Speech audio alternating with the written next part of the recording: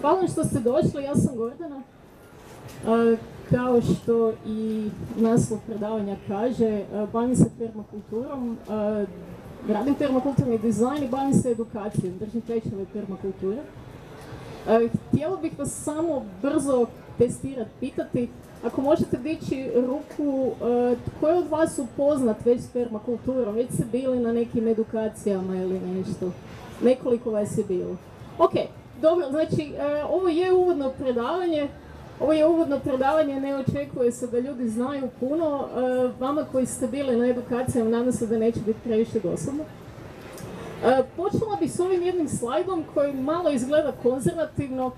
To je jedna sličica koja se pojavila na knjizi Uvod u permakulturu koja je u Hrvatskoj čak prevedena negdje 90. godina.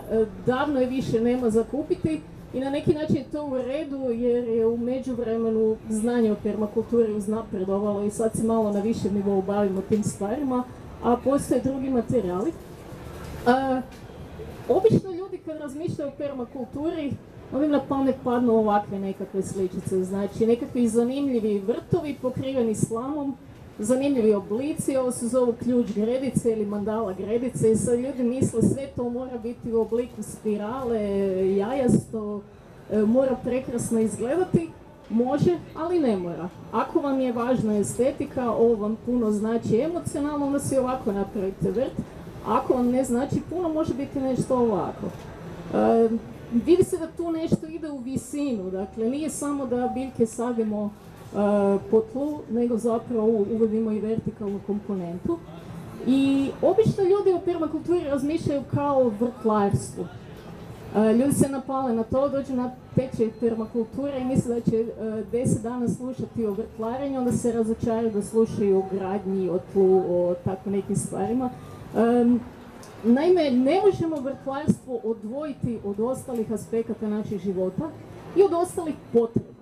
Ali ajmo se sad vratiti na ovu jednu od osnovnih potreba. E, svima nam treba hrana, jel?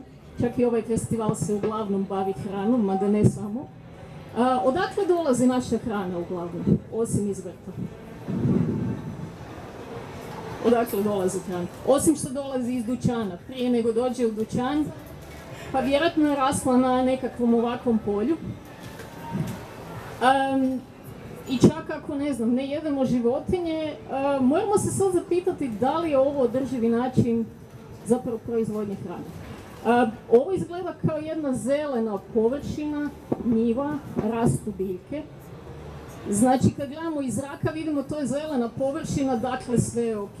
Ali pitanje je da li je ok, pitanje je koliko to zeleno zapravo vara.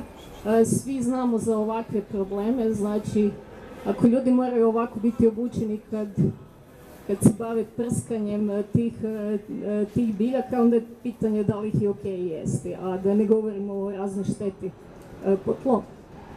Drugi problem je ovaj opet. To je možda, nije ona ista, nije fotografija iste oranice, ali jedna i druga izgledaju slično. Šest mjeseci u godini, prostore na kojima uzgajamo hranu izgledaju ovako. Meni ovo ne izgleda kao zelena površina, izgleda mi kao pustinja. I zapravo kad uzmete malo tla i stavite ga pod mikroskop, pitanje je da li ćete otkriti života u tom tlu. Onog trenutka kad se izgubi organska tvar iz tla, tlo više nema što držati na okupu. Organska tvar je kao ljepilo. Organska tvar je kao spužva koja upija vodu i kao ljepilo koje drži to tlo zajedno. Ako je nema, vjetar dođe od puše. Prije 5-6 godina bila je suša Godinu dana nije pala kiša u Istri na Kvarneru, došla je bura, otpuhala je 10 cm plodnog tla u Čepić polju Istri. Znači, potrebna nam je organska tvar u tlu i ne smijemo tlo ostavljati golom. To vam već daje neke upute što da radimo kasnije. I zapravo, zapravo nije najgore moguće. Najgore moguće što sam vidjela je ovo da li je netko vidio tu sliku? Da li znate možda gdje je to snimljeno? Neko ideju ima. Kontinent barem.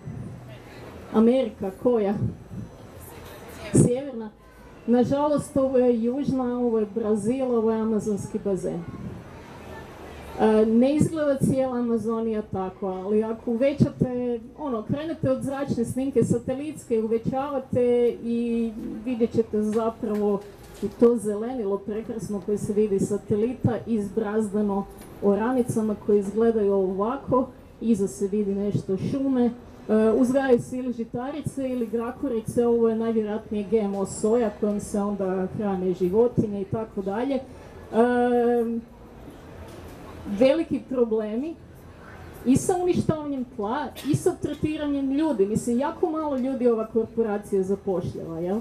Ove mašine su puno veće od nekog traktora koji netko e, u okolici Zagreba ima. a nije to jedini problem. Evo još jedna slika odakle dolazi možda i pola povrća usred zime u našim supermarketima. Ovo je jug Španjolske. Zelena površina. Plastika. E, plastika u polupustinskom području e, za vrijeme suše navodnjavaju povrće e, direkt kanalizacijom jer nemaju čime drugo. Evo mi jedemo tu salatu. Znači, to nije zelena površina, to više nije tlo. Pola tih biljaka nije niti vidjela tla, zapravo raste u nekim kemikalijama. Još bih pitala, sigurno znate, dakle, da bismo dobili ovu svu plastiku i da bismo mogli uvoziti soju iz e, Brazila ili iz Kine i tako dalje, što nam je potrebno za to? Od čega se plastika pravi? Od nafte. Od nafte se pravi plastika, a nafte nam treba za transport. Od e, nafte se pravi dobar dio kemikalija kojima se prska to tlo kao poboljšavaju se mogućnosti za usjeve. I zapravo ispada da kad stavimo na tanjur nešto hrane, mi jedemo naftu. Nekad davno, kad su ljudi uzgajali hranu koju su sami jeli, po definiciji su morali utrošiti manje kalorija nego su dobili u toj hrani, inače bi umrli, jednostavno nemoguće da utrošite više energije nego dobijete. E, danas prosječno trošimo 10 kalorija na jednu kaloriju koju pojedemo. Za neke biljke tipa zelena salata omjer je 60 naprema 1. Dakle, očito nešto ne štima sa tom našom održivošću, čak ako se hranimo samo biljnom hranom, imamo tu problema, jel? Ima održivi način ishrane, ima neodrživ. E, I zapravo jedemo ovo. Ovo je slika iz Kanade, e, prije ovog polja iz kojeg se uzima nafta iz bitumenskog pjeska, prije toga je to bila šuma. Znači prvo e, ogulimo šumu, pa kopamo naftu, pa dođemo do nečeg ovakvog što uopće nije nafta, nego se mora prerađivati uz jako puno kemikalija, E, vruće vode, puno energije se treba uložiti da se dobije nešto što mi možemo zapravo uh, upumpati u auto ili avion. nije nešto baš održivo, ovo je drugi izvor, ovo je recimo ugljen e, proizvodi pola struje na svijetu. Mi smo navikli da struje dolazi onako klik, utičnica i on nam struje. Živimo u zemlji u kojoj smo sretni da nema ovakvih otvorenih kopova, ali već preko granice Bosna, Srbija ih imaju. To su stvarnosti. Dakle, naša odgovornost bi trebala ići dalje od samo, od samo jel, naše četiri zida. I sve te, sve ta, sva ta energija zapravo nam je potrebna da bismo hranili naš način života više više si malo tko može priuštiti da ima kućicu na selu i manje. Ovo je Meksiko City, kod nas nije toliko e, tolika gustoća naseljenosti, ali svejedno su e, ljudske naseobine, pa bilo one gradovi ili čak sela? Moj brat živi na selu u Njemačkoj na vrh brda, sve prekrasno, pogled na zelenilo i dila, ali da oni dođu do najbližeg dućana, voze se koliko 15 km tamo i nazad na posao 70 km tamo i nazad. Da li je to život u skladu s prirodom? Na jedan način da, na drugi način uopće ne. Znači trebamo promišljati to kako živimo. Isto tako što proizvodi ovaj grad? Znači grad ok, ima neku industriju, ima uslužne djelatnosti, ali zapravo e, proizvodi jako puno nečega što se ne iskorištava dalje, jer svi idemo u shopping i proizvodimo jako puno otpada. Otpad ide kamo? Na odlagalište ili spalionicu, znači ili truje zrak ili truje tlo. E, opet ga ne rješavamo, samo ga mičemo po tepih. E, ljudi zapravo nisu nekad e, imali veću svijest o održivosti. Jednostavno sav otpad je bio bio razgradiv bacali su iza kuće, to se razgradilo, jel? Od kamenog doba nadalje. E, danas smo, se, danas smo još, se još uvijek na isti način ponašamo, dobro zapakiramo u vrećicu taj otpad da ga ne vidimo i hitimo ga iza kuće, jel? odnosno na rub grada i čekamo da bude metanska bomba. Ok, to su neki problemi, ali još jedan problem. Nakon mene će biti radionica reciklažne kuhinje i bavit će se zapravo ovim problemom. Znači, proizvodimo duplo više hrane nego se pojede, a više od milijardi ljudi je gladno. Pa onda, ne znam, recikliramo svoj otpad, ali ta reciklaža neka znači iskorištavanje drugih ljudi na drugim kontinentima, opet zagađenje vode, zraka, tla i zapravo e, vrlo nehumano, nehumani odnosi i s ljudima i sa životinjima, sa svim živim na, na svijetu. I kad razmislimo malo o tome, izgleda mi jedemo, ono grickamo, nagrizamo ovu planetu i sve prirodne resurse, pa i sami sebe na neki način. Um, ovaj mi je zanimljiv pojam Earth Overshoot Day. to je dan koji se svake godine pomiče na ranije, i to je dan koji pokazuje datum na koji smo već potrošili sve resurse koji su nam bili na raspolaganju za ovu godinu. Prije 50 godina smo trošili manje nego nam svake godine ekosustav može dati da bi se mogao obnoviti. I onda vidite, e, ne vidi se dobro, ali recimo 70. je taj datum bio 23.12. Znači već smo potrošili prije nego smo, e, nego smo trebali i to se pomiče 2015. 13.8. ove godine 8.8. smo pojeli sve što smo trebali imati za cijelu godinu. Znači ja sad malo karikiram, nije samo hrana u pitanju, nego i energija, sve živo što proizvodimo dolazi od nekud. odakle dolazi? Kako je to moguće? To je vezano uz pojam koji se zove ekološki otisak. Znači jednostavno sve što trošimo ulazi u tu mjeru i svi imamo na raspolaganju cirka dva hektara. To se može tako nekako preračunati. E, mi momentalno trošimo kao da imamo jednu i pol planetu, a ne jednu. Tu smo. Ljudi nekad kažu Hrvatska je nerazvijena zemlja, to se nas ne tiče. Hrvatska je u globalnom prosjeku. Znači, Hrvatska 50% više troši nego bi je smjela.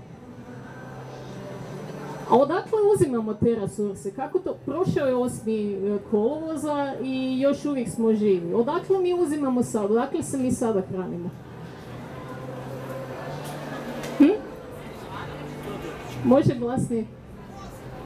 Uvozimo Ok, znači, e, trošimo resurse koje netko drugi proizveo negdje drugdje. E, znači, uglavnom bogati uzimaju iz siromašnih zemalja, to je jedan problem. A drugi problem je zapravo uzimamo od svoje budućnosti, jel? Ako sada potkopamo mogućnost ekosustava da se obnovi svake godine, pitanje je kad će se urušiti. E, ovo je grafikon iz 2003. sad i još gori, koji pokazuje znači, za ekološki otisak i za potrošnju pokazuje kako bi izgledale te zemlje da stvarno, da, da ih se grafički prikaže e, prema tome koliko zapravo troše. Vidimo da je to nejednakost, očito neki troše, ima još puno fora, mogli bi trošiti puno više, ali neki troše puno previše. Da svi imamo američki način života, trošili bismo po glavi stanovnika kao da imamo pet planeta. Nemamo ima još problema. Evo recimo prije dvije godine sam ja držala slično predavanje ovdje onda sam izvukla ove podatke za količinu CO2 u zraku. ljeto 2014. da je 350 molekula na milion u zraku, bili bismo relativno sigurni od pretjeranog globalnog zatopljenja, znači već je bilo blizu 400, Evo sinoć sam skinula najsvježiji podatak, sad smo tu. Idemo, idemo e, na gore. E, ovo mi je jedna zgodna e, fotkica. Nemamo šta ne vjerovati u globalno zaputljenje. Bez obzira da li vjerujemo da je to od CO2 ili od bilo čega drugoga, činjenica je da se klima mijenja. Ovo su projekcije za 2080. Koliko stupnjeva će se u Europi zapravo promijeniti klima. Mi smo negdje na skoro pa najcrvenijem, 3,3, 3,4. To ne znači samo da je toplija zima i da nam je ugodno, znači veće razlike u temperaturi, veći ekstremi, više nevremena. I zapravo moramo tražiti načine kako da se prilagodimo tome. Naravno da trebamo i dalje smanjiti potrošnju energije, prije ili kasnije ćemo i morati. Ali trebamo tražiti načine kako se prilagoditi tome. I permakultura zapravo traži te, te odgovore. I ovo je još jedan problem, znači vrhunac nafte. Sad smo negdje 2010. smo prešli vrhunac nafte, koji znači više se troši veća potražnja nego je moguće, e, moguće proizvesti te godine.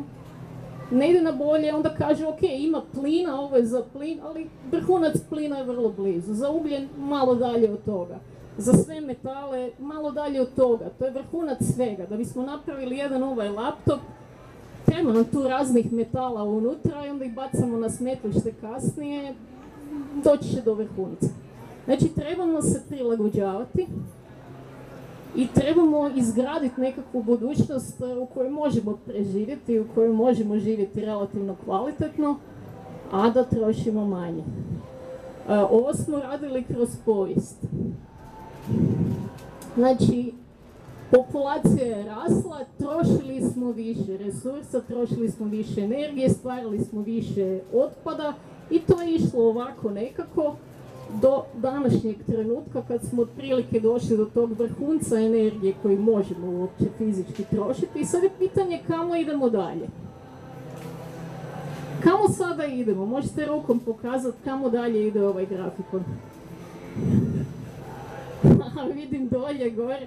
E, šta bi političari rekli? Oni kažu business as usual, idemo, jel? E, jel nema veze? ne znam, neke kompanije kaže ok, ako više nema ruda na zemlji, rudarit ćemo mjesec, rudarit ćemo asteroide, može, bez problema. ja sam po struci fizičarka, slušam ono, od 50. godina nadalje, dakle puno prije nego sam ja rođena, ovoga se prognozira da će nuklearna fuzija biti dostupna od sljedeće godine, jel? Neće. Nema, nema besplatne energije iz ničega. ok, onda recimo, kad čujete scenarij nekih udruga za, za zaštitu okoliša, kažemo ajmo reciklirati otpad, malo smanjiti potrošnju, gasiti svjetlo, staviti solarne kolektore na, na krov i e, gledamo nekakvo stabilno stanje u budućnosti. Znači manje potrošiti bez tog beskonačnog rasta. To je jedna mogućnost, međutim, barem za sada tehnologije nam ne dopuštaju da tako lagodno živimo. Mislim, fotonaponi proizvode struju na sunce, ali netko je njih proizveo na struju iz ugljena, jel? Budimo realni. Ok, onda ovo što je par vas pokazalo, jel, idemo u smak svijeta, Mad Max. Pa od kad ja znam za sebe, isto tako se prognozira da će se desiti smak svijeta, još se nije desio, još smo uvijek tu, još smo relativno zdravi i živi smo svakako. I zapravo ono što permakultura radi, je pokušava dizajnirati ovakav, ovakav nekakav put. Znači, kako da smanjimo potrošnju energije, potrošnju resursa, da ne stvaramo otpad, ali ključno da kvaliteta života ili se zadrži do današnjem nivou ili zapravo da se i poveća. Jer često ljudi standard mjere mogućnosti da potrošimo više novaca, nisu nužno sretni. Znači, gledamo kako izgraditi i kvalitetnije odnose i zapravo regenerirati to što smo uništili i popraviti situaciju. Vidite tu briga za zemlju, ljude. To su neki od osnovnih principa u permakulturi, to se zove permakulturna etika. Što god dizajniramo, bio to vrt, organizacija, održivi kvart. Ako se nismo pobrinuli za tlo, za ljude, i ako nismo pravedno raspodijelili resurse, to nije permakulturni dizajn. Znači, jako, jako bitno, bez obzira koliko kompleksno nešto radimo, bitno je uzeti sve ovo u obzir.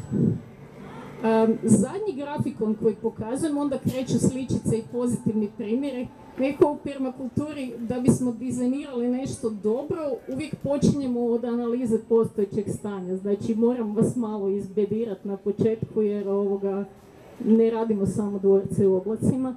zadnji grafikon ne vidi se dobro, ali objasnit ću. Vidite na vertikalnoj osi e, je prikazan ekološki otisak. Da bismo živjeli održivo, e, imam i ovaj, ali ne znam da ovo radi.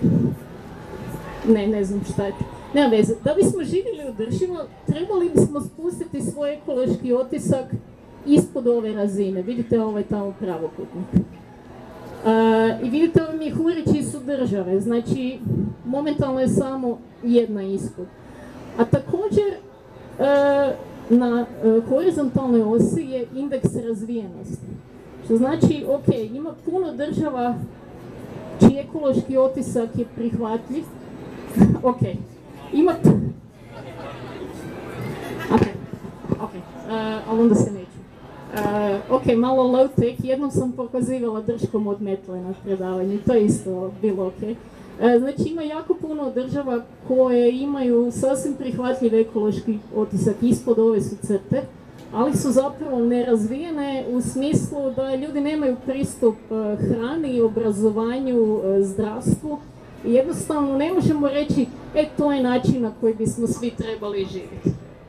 Znači, potrebno je pomoći nekima, znači pravedna raspodjela, potrebno je zapravo da zemlje budu dovoljno razvijene, da svi imaju pristup tim osnovnim stvarima koje su potrebne za život i da čak kvalitetno žive. E, trebali bismo ih pogurati do tamo. I vidite, ovaj pravokutnik je nešto gdje bismo svi trebali biti, a momentalno samo jedan mjehurić je tu. Samo jedna zemlja na svijetu ima održivi razvoj. Mi svi pričamo o održivom razvoju, u zakonu je održivi razvoj. Svi političari se puno održivim razvojem. Samo jedna zemlja na svijetu. Koja? Island. E, neće biti Island je jedan od tamno plavih. E, Skandinavija, zemlje u Skandinaviji zapravo imaju jako veliki ekološki otisak, nažalost. Razvijene su što je ok, ali trebali bi smanjiti potrošnju resursa. E, dalje ponude. Danska.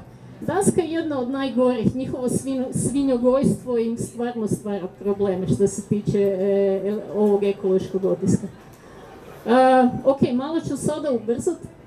Ovaj mi je Hurić u dozvoljenom pravokutniku je Kuba. Kuba, ok, u međuvremenu, ovo iz 2003. grafikon, u međuvremenu je Peru malo sjeo na čošak, E, Kuba je jedina država sa održivim razvojem. da li su oni htjeli biti održivi? Da li su se namjerno tako e, razvili? Evo ovako danas izgledaju neki, e, neki gradovi na Kubi. Znači hrana se uzgaja u gradu, tamo gdje ljudi žive. Kuba se lokalizirala. Ovo su zgodne slike, ali ne radi se samo o hrani. Oni su lokalizirali sve. Eh, Havana ima osam sveučilišta, ja mislim, tako da ljudi mogu biciklom doći do faksa. svaki malo veći kvart ima svoju bolnicu. Kuba ima, mislim, u glavi stanovnika najviše liječnika na svijetu. Zdravstvo je puno, puno boljem stanju nego za najbogatiju zemlju na svijetu Sjedinje američke države. Znači, lokalizirali su sve, postigli su održivost. Da li su oni to htjeli? Pa ne, jednostavno 90-ih raspao se Sovjetski savez, više nije bilo subvencionirane nafte i žitarica i oni su mogli birati da li će preći na uzgoj samo e, kave i šećera i to prodavati na globalnom tržištu, gubiti novce i biti za uvijek zemlja u razvoju ili će se lokalizirati. Shvatili su nama ne treba lova da kupimo hranu, nama treba hrana. Jel? E, nama treba energija tu gdje živimo. Znači, nije da su htjeli biti održivi, ali su morali. Jedan drugi primjer iz Sjeverne Amerike je grad Detroit, znate autoindustrija. Ovako izgleda jedan kvart sa nekadašnjim kućama u nizu. Srušene su dobar dio njih. Zašto? Ljudi više nisu mogli plaćati kredite za kuću i selili su, kuće su stare, banka ih nije imala kome prodati, bile su nesigurne za prolaziti kraj njih, srušene su. I sad zamislite, ako nemate za kuću otplaćivati, vjerojatno nemate ni auto, nije situacija kao kod nas. Detroit nije imao niti jednu tržnicu. Najbliži dućan sa hranom je možda 5 km dalje. Zamislite, imate, ono, u godinama ste imate problema s kukom ili imate djece, e, djecu u kolicima, to baš i ne ide. Dakle, što su ljudi napravili u Detroitu? Opet počeli su uzgajati hranu tamo gdje je bilo mjesto. A svuda ima sada mjesta jer nema kuće. U međuvremenu, ovo isto stara slika, u međuvremenu raste drveće po Detroitu, to je lijepo vidjeti. I ovakve urbane farme se pokreću, tako da ljudi zapravo uzgaju hranu tamo gdje im treba. Ali je sada pitanje, znači, unatoč ovakvim super primjerima, da li mi možemo dizajnirati sustav u kojem mi živimo proaktivno? Zašto čekati nekakvu katastrofu?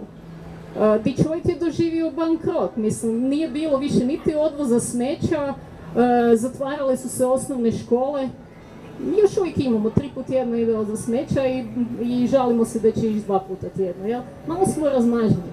Znači, ponte kako sada naći načina da dizajniramo sustav u kojem živimo proaktivno, da živimo kvalitetnije nego sada, a da zapravo trošimo manje resursa.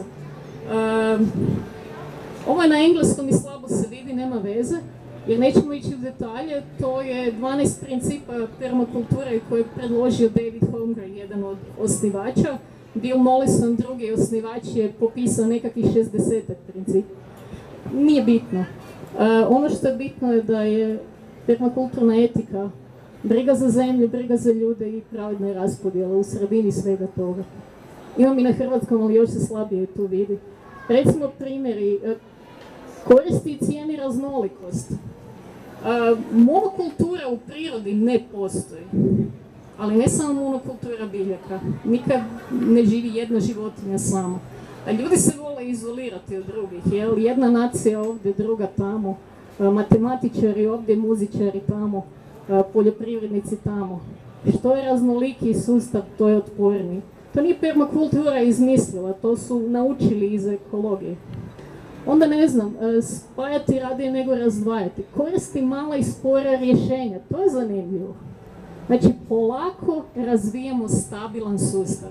Poanta je da taj sustav zaživi i da se sam može održavati, da mi ne moramo svake godine, svaki dan upucavati novu energiju u njega. I isto tako, rekla sam već, znači permakultura ne uključuje samo hranu. Eno, hrana, gdje Evo, hrana je ovdje, to je samo jedna latica na cvijetu. Znači sve radimo od energije, gradnje, zbrinjavanja otpada do socijalne, društvene dimenzije ima tu jako puno zgodnih stvari, ono što je ključno za permakulturu da je sve zapravo povezano. Nema permakulturnog vrta ili permakulturne kuće koja živi u izolaciji, da nije povezana sa svim drugim. Ne moramo svi imati vrt uz kuću, ali moramo paziti odakle naša hrana dolazi. Možemo se umrežiti s nekim drugim koji to uzgojio na prirodan način. Ima sam nekih primjera. Recimo terasiranje, eh, raznolike kulture u vrtovima, E, vidite, ovo je recimo neobično, ima dosta sjene u ovom vrtu. E, prelazi se na uzgoj više trajnica. Zašto trajnica? Da ne moramo svake godine kopati tlo. A ne želimo kopati tlo zato što ga ne želimo uništiti.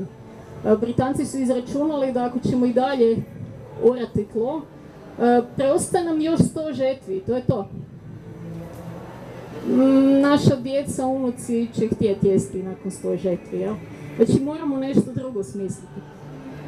Onda recimo umjesto da, umjesto da zaljevamo vrt svaki dan, možemo dizajnirati sustav da se on sam napaja. Razni kanali se mogu, e, mogu iskopati, ne samo u vrtu, mogu se na brdu iskopati. To je način kako se priroda i sama ponaša, jel? I onda imitiramo prirodu. To je još jedan od principa. Imitiramo prirodu. Priroda je već skužila kako trošiti malo energije. Mi samo trebamo učiti od toga. Ovo mi je jako zgodna zračna snimka. jedno ovo veliko imanje je uslikano za vrijeme suše, a vidite tu je dosta zelenog. Zeleno je zato što je teren terasiran na taj način da su kanali zapravo odveli vodu tamo gdje je voda potrebna. Obično voda s brda, sa brda curi dolje? I dolje je uvijek mokro, gore je uvijek suho, to je logično. Ali moguće isterasirati teren tako da voda ide i prema inače suhim dijelovima. Onda ne moramo E, kao što su Amerikanci iscrpili već dvije trećine svojih vodonosnika podzemnih, pitanja može će Kalifornija ostati bez vode za deset godina. Znači može se i na velikim područjima. E, ko vidi ove slike, Hobitska kućica, e, ovo je jedan primjer, Simon Dale se zove, permakulturist, iz Walesa je sagradio cijelu kuću za obitelj u Velikoj Britaniji, skupa zemlja, za 3000 funti. Jel? Koriste prirodne materijale. E, to je bila privremena kuća i nije sve super napravljeno, iako super izgleda, ali poanta, e, nakon što se obitelj odselila, ta kuća se pretvara u prirodu. E, jedina stvar koja će ostati da se neće reciklirati je vodonepropusna folija jel? za izolaciju. I to će se jednog dana izvući. Dakle, mi ne moramo graditi nešto što kad se sruši ostaje opasan otpad. Možemo izgraditi nešto od prirodnih materijala. E, ovo nije građeno od prirodnih materijala, ali građeno isključivo od otpadnih materijala. E, ovakav tip kuće zove se Earthship, kao zemljobrod, i koriste se otpadni materijali kao autogume. Autogume napunjene zemljom, zbijenom, su odličan građevinski materijal. U Vukomeriću, gdje je reciklirano imanje, ovoga blizini Zagreba, to su brdašca i sve, e, svi ravni tereni su napravljeni podzidima od autoguma. Bilje se raširilo po tome, sad se niti ne vidi, ali imate teras. E, I isto tako jako, lijepo izgleda, recimo ovo sa bocama, jedna vrlo lijepa ovoga. E, također su te kuće pasivne. Znači da ih ne treba puno grijati zadržava se toplina unutra. Ali može i drugčije, znači nije zemljobrod idealan za našu klimu jer zimi nema puno sunca i tako. Znači uvijek gledamo kakve uvjete imamo. Hrpetina organske tvari, ovi ljudi pripremaju centralno grijanje na kompost.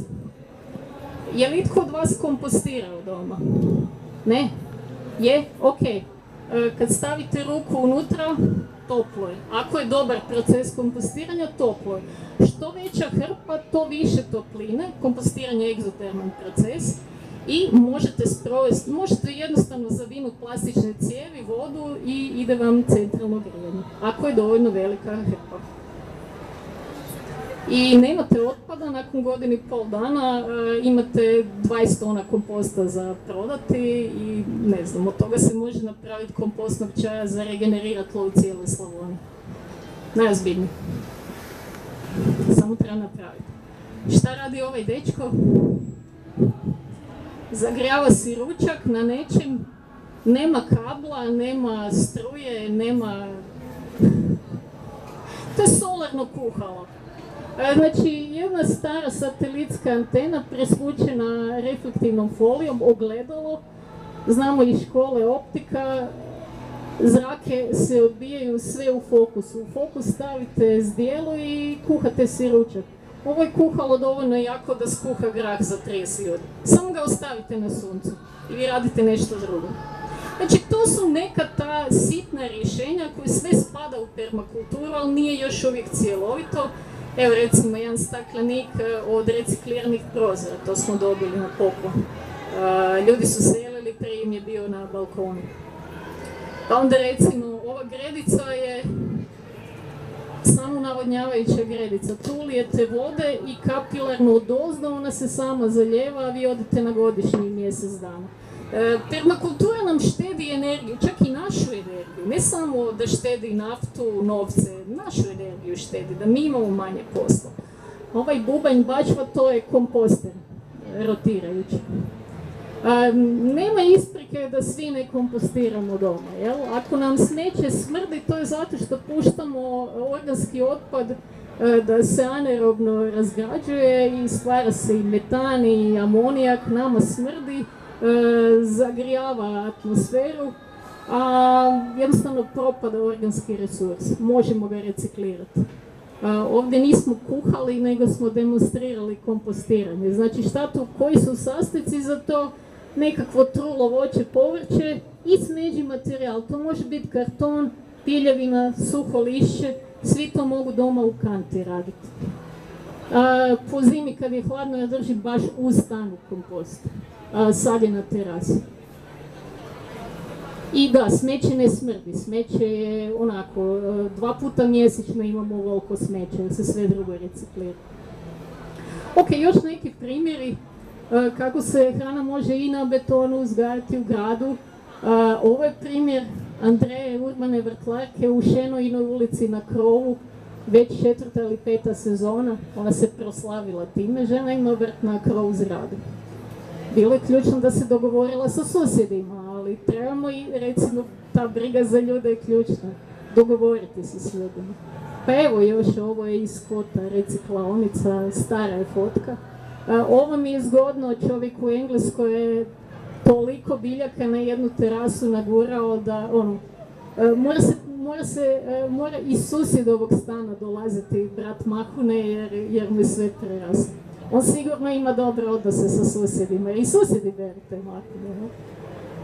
Ovo je primjer iz Engleske, jedan mali gradić koji uzgaja hranu na svim javnim površinama.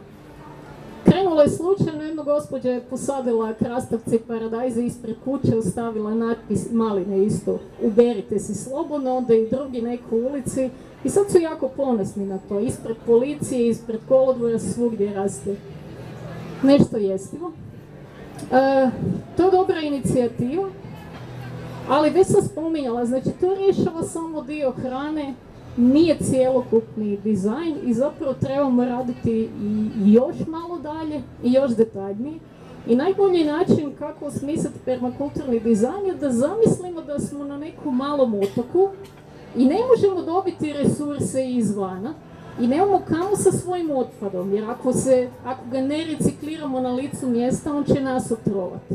Znači, kako riješiti svoju hranu, energiju, gradnju, znači gradimo onim što ima na terenu. Nećemo graditi od slame na nekom grčkom otoku gdje nema na 500 km slame. Gradit ćemo od kamena jer ga tamo ima. Ako imamo puno šume, onda ćemo graditi od drveta.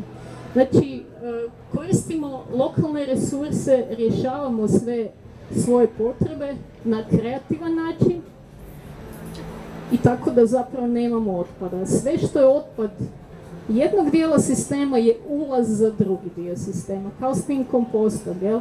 Organska tvar smrdi u smeću i proizvodi metan, 25 puta jači staklenički plin od CO2, ali ako ja od njega proizvedem tlo, e, prepuno živih organizama i mikro i makroorganizama kojima je to idealan ekosustav, onda sam zapravo E, stvorila nešto od otpada.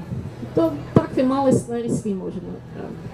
E, permakulturni dizajn ovako nekako može izgledati. Vidite da tu ukratko ima puno hrane, puno biljaka blizu kuće. I to su neki zanimljivi elementi, znači može se spremati kišnica, e, jezerce. Na zadnjem tečaju permakulture smo pobrali nekakvih deset funkcija koje to jezerce može imati.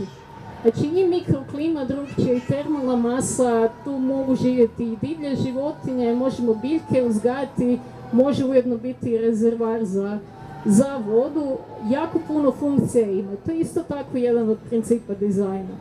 Da biramo elemente koji imaju puno funkcija, ne samo jednu. Naprimjer, um, ako sadimo neki ukrasni grm, onda ima posaditi nešto što nije samo ukrasno, a možda je otrovno, nego nešto što i dobro stanište za kukce, za ptice, što daje jestive plodove, posadimo na mjesto gdje nam pravi sjenu, gdje nam je previše sunca ili gdje nam je vjetrobran da nas štiti tokom zime.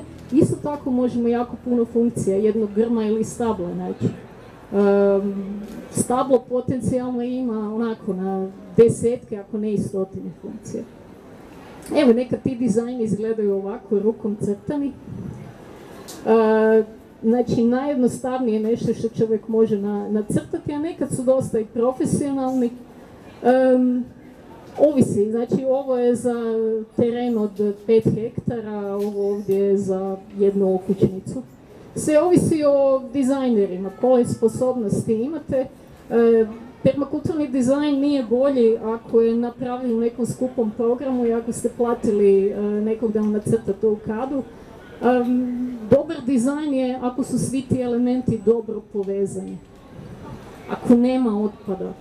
Ako, ako trošimo malo energije, znači i, i vremena, e, ja se nekad zezom kažem da, da spermakultura uči da želimo biti lijeni. Ne samo da ne želimo ništa raditi, nego da si organiziramo život tako da ne moramo raditi nešto što ne trebamo.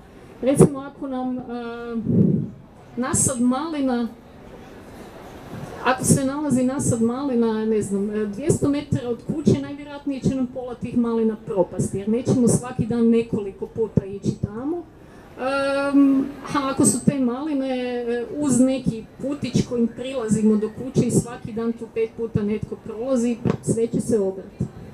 Znači moramo se organizirati prostor tako da je logično, da štedimo vrijeme. Evo ovo je sličica da se jednog tečaja ljudi dizajniraju nešto. Um, sad bih samo još pokazala primjere, znači kad se koristi dizajn, kako to može izgledati. Ovo je primjer imanja Sepa Holcera u Austriji koji sam nekako eh, eksperimentirajući sa tim svojim ogromnim imanjem na brdu Alpama došao do potpuno istih stvari do kojih su permakulturisti u Australiji došli 70. godina. on je recimo iskopao jezera koji zadržavaju višak vode i smanjila se erozija i promijenio je mikroklimu gore. On uspijeva E, na Alpama na 1500 metara visine čak grume uzgajati. Ali uz pametan dizajn. Znači vidite te naranđe rastu uz nekako kamenje. Kamen je termalna masa, tokom dana upije, upije toplinu, tokom noći zagrijava to bilje. E, malo energije je tu uloženo, samo je to kamenje tu postavljeno, plus velika termalna masa je jezero. Onda recimo ovo su povišene gredice koje on izmislio, koji imaju smisla na njegovom terenu jer tamo ima previše vode. Ako radimo u pustinskom terenu ili ne znam u Dalmaciji, ćemo raditi u dubljene gredice da nam se voda zadrži. I tako. Onda recimo e, jedan primjer ekoselo Tamera u Portugalu. Ekoselo je jedna namjer, to ekoselo je jedna namjerna zajednica, ljudi su dosta imućni koji su to izgradili, međutim napravljeno je u jednom polupustinskom području oni su unajmili Holcera da im napravi jezera. On je baš pazio kako ih je orijentirao, da ih vjetar miješa pa ne mora imati pumpu i tako. Klima se, mikroklima se skroz promijenila u tom području. Sada dolaze odjednom ptice koji prije nije bilo, uzgaju neko voće koje prije nisu mogli uzgajati i sada si mogu namiriti skoro sve svoje potrebe za hranom. Prije nisu mogli, prije su se vozili jel pa u supermarket. Ovo je primjer Holmgrenov, njegove farme, odnosno to je okućnica. On je e, baš jako pametno e, razmišljao koliko njegova obitelj ima energije uopće. Da li ima energije za 15-100 hektara? Pa nema, pa su oni krenuli intenzivno dizajnirati tu okućnicu i stavili su znači kupili su teren na rubu jednog malog gradića. Oni su koristili permakulturni princip e, da su rubovi najbolje područje. Um, tu sad idem malo previše detalja, nema vremena za to. Ali vidite da jako puno hrane raste jako blizu kuće. Zamislite, kiša vam pada i vi samo pružite ruku kroz prozor i berete voće. Jel? ovo je, ovo je e, meni jako drag primjer. Uh, New Forest Farm, uh, Mark Shepard, možda su neki čuli za njega, je dizajner koji nedavno čak je imao radionicu u Hrvatskoj. Ova farma iz zraka izgleda dosta neobično. Kao prvo, nekakve krive crte tu, jel? Šta ti permakulturisti rade? Nije estetika, on jednostavno dizajnirao teren u sušnom području, tako da zadrži što više vode, da ga ne mora navodnjavati. I druga, možda neobična stvar je da farma, da na farmi raste drveće. Uh, Mak šepar ne uzgaja žitarice, odnosno neke žitarice ima koje prosuo sjeme da ptice mogu jesti, da se to samo razmnožava, ali uglavnom e, ide na sadnju trajnica. Mi možemo sve, potencijalno možemo sve kalorije dobiti od e, trajnice. recimo kesten ima vrlo sličan sastav ugljikohidrata i tako dalje kao riža. Znači jednom posadimo kesten i sto godina dobijemo plodove, ne moramo orati, ne moramo špricati i tako dalje. Ali je potrebno da izgradimo tlo u kojem kesten može rasti i da mu napravimo društvo. Ne može jedan sam kesten u polju rasti, jel? Znači, trebamo ići na sustave s trajnicama. To nije prijelaz koji se može desiti ovako do sutra, ali se može desiti. isto tako ovisi gdje. Recimo, mi živimo, većina Europe je na terenu gdje je prirodni biom šuma. Dakle, imalo bi smisla da mi izgradimo sustave za uzgoj hrane koji su polušumski, takvi su najefikasniji. Dok recimo Ukrajina, središnji dio Sjeverne Amerike, tamo je prirodni bion prerija. Znači oni da hoće ne mogu šumu tamo izgraditi, e, e, e, zasaditi. Dakle, tamo ima smisla sustav sa žitaricama, možda trajnim žitaricama, zašto ne? Evo još jedan urbani primjer. ovo je projekt za 20 obitelji u gradu Leeds, sjeverna Engleska, veliki je grad. E, planski je sagrađeno naselje da bude povoljno i da bude ekološko. Ove zgrade su napravljene od slame, ljudi imaju zajednički vrt. Može, može, ima i trokatnica od slame, Njemci su najdalje odmakli s time. I e, ključna da je zajednica uklopljena u već postojeći kvart. Dakle, oni se nisu izolirali, nego zapravo pozivaju ljude iz kvarta da dolaze tamo i na edukaciji imaju i zajedničke prostore, ko hoće može kuhati doma, ko želi može u zajedničkoj kuhinji pripremati, imaju svoj vrtić, e, jako, jako lijepo je to organizirano. Ali bio potreban dizajn, bilo je potrebno da ljudi sjednu, da uvide koje potrebe ima ta zajednica i da jednostavno E, stvore sustav koji zadovoljava te potrebe, a da ne radi štetu u okolišu. Evo samo još par primjera za kraj. E, ovo je meni zgodan primjer u selu Plukrip u Belgiji. E, permakulturisti koji su se prvo bavili poljoprivredom, sad se još uvijek bave poljoprivredom, ali samo par puta godišnje prodaju malo voće i povrće na štandu, ne trebaju više, sve ostalo dijele besplatno zašto? Zato što su im jedini troškovi za vodu i plin za kuhanje. Sve ostalo su uspjeli namiriti. Znači, uzgajaju dovoljno hrane, ali se bave još jednom stvari, a to je e, recikliranje na veliko. Sve što su izgradili je od otpadnih materijala. I imaju dogovor da svi iz regije zapravo njima dovoze, ne znam, stari bicikl, oni to poprave i sad ako vama treba bicikl, odete kod njih i izaberete za koje vam treba. Treba vam, ne znam, e, knjiga građevinskog materijala hrane, imaju nekakvih sedam zamrzivača e, punih e, dobre hrane, znači dućani sa ekološkom hranom, kada se hrana približi isteku roka trajanja, jednostavno njima to dopreme i one to uh, spreme tako da dijele. Možete doći i uzeti što god hoćete. Maslinovo ulje može, ne znam, 10 uh, kila paprike može. Dakle, sve živo dijele, oni kažu da im sve dolazi iz Černjakovog šešira. Um, I evo, ovo primjer sam već spominjala, taj nam je najbliži. Reciklirano imanje u Vukomeriću je, mislim, uh, vodi ga udruga Zmag, to je udruga. Nitko konkretno ne živi za stalno na imanju, to je edukativni centar. Zove se reciklirano zato što je dosta rađeno od recikliranih materijala. Recimo, ovo su dvije stare turopojske kuće koje su presložene u jednu. Um, dosta zanimljivo izgleda, nema puno uzgoja hrane tamo zato što ljudi ne žive stalno, ali uh, su jako odmakli u gradnji prirodnim materijalima, ovo je jedna stara kuća, imala azbestni krov, sada ima zeleni krov, obučena u slamu. Računi za grijanje, kakvi računi za grijanje? Imate odličnu izolaciju i to je to. Evo ovo je najnoviji objektić, isto samo stojeća slama, zeleni krop. sve ovo vam neće funkcionirati ako nemate ljude. Ne možete sami sagraditi kuću, ne možete sami iskopati jezera na brdu i ja ljudima preporučujem kad god nešto žele, e, kad god nešto žele pokrenuti u gradu da si razmišljaju što im je najvažnije od resursa. prostor se može dobiti od nekog drugog, novci se mogu zaraditi, ali ljudi su vam ključni. Bill Mollison, osnivač permakulture, je rekao ne mogu sam promijeniti svijet, potrebno mi još barem troje ljudi.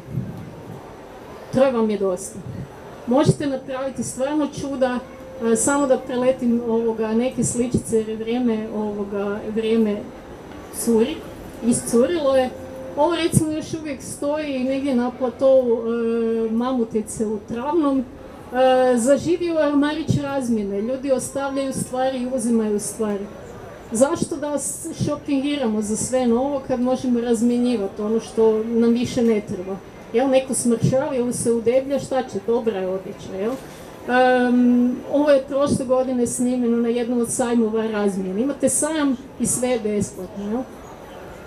Ne morate imati novca za graditi kuću, ovoga, možemo i ovakve stvari raditi. Bicikl popravljona u Zagrebu u zelenoj akciji nije permakulturni projekt, ali je to permakulturno razmišljanje um, udruga Vestidium na Vrbanima. Oni su krenuli od ničega i svašta imaju ekoplac, radionice za djecu, jogu, radionice kuhanja, tečajeve. Samo je nekoliko ljudi trebalo da zapne u tome. Ne znam da li da idem dalje, ovoga, imam još nekoliko samo primjera, ali sve se vrti, sve se vrti oko te iste stvari. samo bih još, evo ga, E, primjer Termoblica pokazala. E, ovo iz okolice Splita prije nekoliko godina. Šta je Permoblic? Permoblic je radna akcija na kojoj nešto ljudi u jednom danu naprave, ali prema permakulturnom dizajnu. Ako se sami uhvatite toga, radit ćete godinama. Evo, ovo je ujutro u 9 sati, u 4 popodne, to izgleda ovako. Kad se male ruke slože, puno se može napraviti. nekako, bez obzira koje vještine, koja znanja imamo, imamo nešto što može biti korisno. I trebamo se udružiti s ljudima koji imaju različita znanja, različite vještine, jer onda možemo nešto zajedno napraviti. Ako svi, ono što smo rekli, svi muzičari se druže samo s muzičarima, poljoprivrednici samo s poljoprivrednicima, niti ti poljoprivrednici neće imati kome prodati svoju robu. Znači moramo se nekako udružiti jer zajednica je isto taj ključan element. I to je recimo možda razlog zašto se permakultura nije počela naglo razvijati još 70. kad je pokrenuta jer su ljudi zanemarili taj element zajednice. Zadnjih deseta godina najviše literature i proučavanja zapravo ide u tom smjeru i trebamo jako puno učiti, ali imamo i od koga. moje vrijeme je isteklo, ali tu ću se muvati kraj stola. A ako mi želite ostaviti e-mail adresu, mogu vas ubaciti na mailing listu Permakultura u Hrvatskoj. To je samo informacijska lista, znači dođe, ne znam, jedan, dva maila tjedno u raznim e, radionicama ili tečajima, čisto da ste u toku. A e, ja sam u još jednoj udruzi, zove se participacija i djeluje u Zagrebu. Imate tamo letkiće kao podsjetnice, pa ovoga, isto to si možete sami uzeti. Eto, to je to. Niste baš pitanje postavljali.